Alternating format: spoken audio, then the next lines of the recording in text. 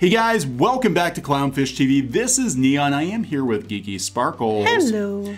And we're going to talk about Disney giving their CFO a contract extension and a possible $11 million incentive. Annual incentive. Annual incentive when they've been laying off their frontline workers like crazy. And uh, there actually are food pantries set up for many Disney employees. Uh, yeah. Mm-hmm. Yeah. Disney, what the hell? Yeah, I was like not very happy when I saw this. So they filed, did a filing. We'll talk about it. But her contract was supposed to end in June of next year, and they extended it to the this end of December of 2022. And, and among her, like other senior executives, so this is one annual incentive of many. Yes. Uh, she gets up to 11, 11 million depending on the economy. Well, depending on the economy, isn't offering any of this stuff kind of tone deaf. It is. So we'll, talk about that because this is uh, this is typical Disney, guys. This is the family-friendly company that uh, you know everyone keeps saying that we we hate. We don't hate them. We just don't like. We don't like do. pull. We don't like they pull shit like this. We don't like it when they pull shit like this. So before we get into it, please subscribe for more pop culture news, views, and rants, guys. We're over 150,000 subs. Woo! Thank you for the support and check out Geeky's Toy Drive. Uh, look at this. She's actually been buying toys, lots of toys. I have been. For girls and boys. Uh, she's been Santa Claus. And um, this is, you know, thanks in part to the help from the Reef. Yes. You guys have been buying stuff from her shop. All the money from the shop is going to uh, buy the toys. Now, um, Mama Sparkles has donated some pouches because that's what she does. And here they are, and they're very well made because she is a professional seamstress. So she donated some different things. Look, we got Ren and Stimpy. We got classic Ninja Turtles. We got Black Panther. You know, there's different links from Zelda. I love that Tron. The Tron The is very, really very cool, cute. yeah. And there's different sizes. You can oh, classic shortcake. So you can pick those. And then there's some plushies and bracelets and some stuff, different things. Um, all the money is going to every bit bit of it to the 10th and maybe i might go a little further because they said they might work with us a little bit longer Okay. um is going to go all of it to buy toys for kids Yeah, this is uh, through the Salvation Army. We've been, you know, sorting them according to child, uh, coming from the Angel Tree. So if you can help out, that's awesome. If you can't, that's also awesome. We appreciate the support because actually just watching our videos, some of that money is going to help Mm-hmm. people as well. So thanks for that. So let's let's talk about this. Um, you know, especially since we're talking about you know giving back And helping people. helping people during the holidays, during 2020. yeah 2020 because this year has been terrible for so many um and then this is what they do Yeah, so uh, yeah, Christine McCarthy, who's the Disney CFO, if you've listened to the live streams of their earnings calls, she is a major voice in that. It's usually one of the Bobs and Christine McCarthy. This is what she looks like. Uh, and yeah, the company is not doing well, but we did a video yesterday talking about how executives, Disney executives, are jumping ship, probably for better offers, more secure offers. But she's not going anywhere. Uh, she's getting big fat paycheck and big fat bonuses. Mm-hmm. Uh, Eleven million dollars. So you want to talk about this, geeky? Cause yeah i'll talk about it even though i didn't realize i had highlighted the entire thing in bold so That's okay. like, You're yeah. yelling. You're yelling. I yelling am so people. mad yeah so basically i already said she was supposed to have her contract up and they talk about that uh, into june and they extended it to december 31st 2022 And then they go on to talk about this 11 million incentive, annual incentive. So basically, subject to the terms of this agreement, executives shall be entitled to participate in the equity-based long-term incentive incentive compensation plans, programs, or arrangements generally made available to most senior executive officers. So she isn't the only one getting this, guys. You're like 11 million dollars for her. Apparently, she's not the only one. So put that wrap your head around that for a minute. Yeah. So this is what a lot of people were upset about because uh, you know the executives took a very short, uh, very short pay cut Yeah. at Disney. You know, in solidarity with the uh, frontline workers, and now they're right back to where they started from. As the company is hemorrhaging cash, they're- Right. They're, paying her a lot of money. Now, to be fair, you know, she could be an incredibly valuable employee. Yeah. and they need to, you know, and this is But to be fair, you laid off 30 some thousand people, but you're going to give her $11 million annually on top of what she already is getting, which we don't know what that is. Yeah. So this is the thing. They laid off 32,000 staffers. Um, a lot of them in the parks, a lot of them uh, grunts. Now there have been some Imagineers let go, and and all of that. And I think what is so uh, disgusting about it is the fact that Disney is basically putting it on Disney fans and theme park fans to help And employees that are, you know, are still working. yeah, employees are still working to help put food on the tables of the employees that they let go. $11 million would buy a hell of a lot of food. Right. Uh, They were saying there was like miles long lines that lasted for hours. of people in the in the lines for the, the food assistance. Okay, other blogs that are theme park blogs are out there doing fundraisers to raise money and different things. That all the money's going to the employee employees, cast members that are laid off for the food pantries and things like that. They're putting it on the fans and they're putting it on the bloggers and stuff to basically take care of their employees that they just cut loose. Oh, because the economy is so bad, uh, and everybody understood. They're like, okay, we understand it sucks, but yeah, the economy's bad, and it's a very poor taste to turn around. Now, it wasn't a, another filing. I don't think they knew it was going to get left left out there. Yeah. But they just extended her contract with an eleven million dollar annual bonus. Now they'll argue, well, it says if you know that it could vary. It does say it could vary depending on the economy, depending on the financial situation of the company. But then my question is, it also says it can go less than or greater than. It says that in there too. But it could vary. Then why offer it at all? If it's going by the economy and the financial situation, Disney is not going to recover next year.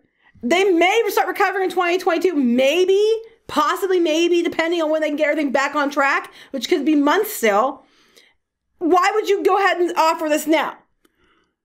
Yeah, well, they're probably afraid that she's going to jump ship like some other executives have jumped ship, and she is a key executive. I mean, Well, they can re- they replace the other people. yeah, they can replace Imagineers. I'm sure repla- they yeah. can replace. They can find another CFO who would do just as good a job, and they don't have to give them 11 million dollar incentive.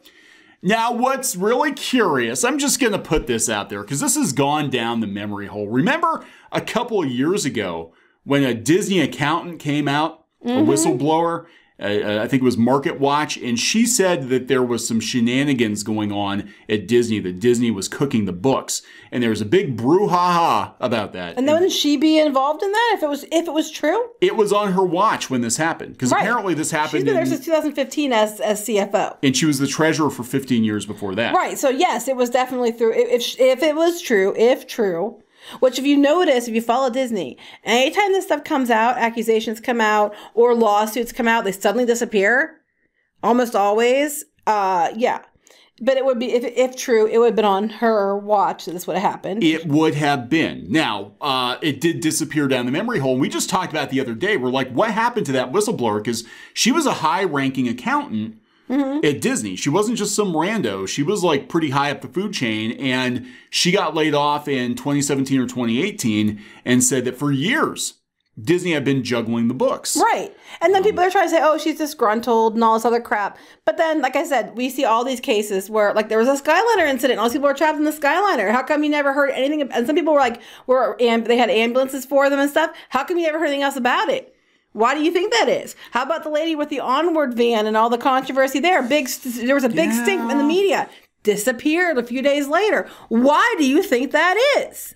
Yep. But Uh, she's one of many senior executives ge- that are probably getting an annual incentive bonus. millions of dollars. Uh, meanwhile, meanwhile, you know, 32,000 people laid off. Now, I do understand business uh, very well, actually, and and I do understand capitalism. And I get that you know not every employee is as valuable to the company as as other employees are, and that if she's bringing it, then she definitely deserves Right. And if you have more. areas shut off, you can't keep paying, paying people would not be there. But eleven million dollars at a time like this. You meanwhile, last year you and year before, you guys had no trouble jacking the rates up on annual pass holders, jacking the rates up on the tickets and the hotels, and making people pay for parking, raising prices on food, raising prices on things like mouse ears, raising prices on everything.